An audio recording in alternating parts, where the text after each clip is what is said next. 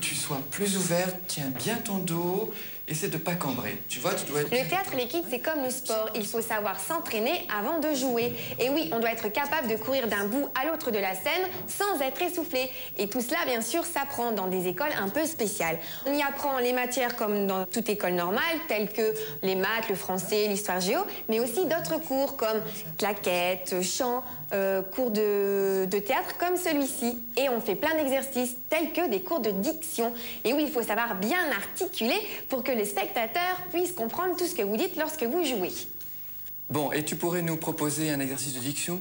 Oui, j'ai appris une phrase. Je t'écoute. Alors, deux crapauds gris et gras croqués dans des croutons croustillants dans un grand restaurant. Alors très bien, mais un petit peu plus lentement, en respirant, bien neutre, on vous écoute. Deux crapauds gris et gras croqués dans des croutons croustillants dans un grand restaurant. Très bien. Et bon, alors on t'écoute si tu en as une deuxième. euh, Oui, et je suis sûre que tout le monde la connaît en plus. Allons-y. Dites les kids, si vous regardez les Creepy Crawlers maintenant, nous on continue nos exercices de diction. Les Creepy Crawlers. L'école secondaire du spectacle du Forum Mouvement fut unique en France. Elle dura 11 années.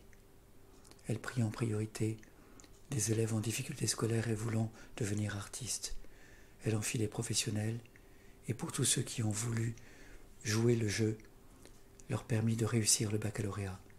Les dernières années de l'existence de l'école, la réussite a été de 100%. La pédagogie de cette école fut tout à fait exceptionnelle et très particulière et permit cette énorme réussite totalement unique.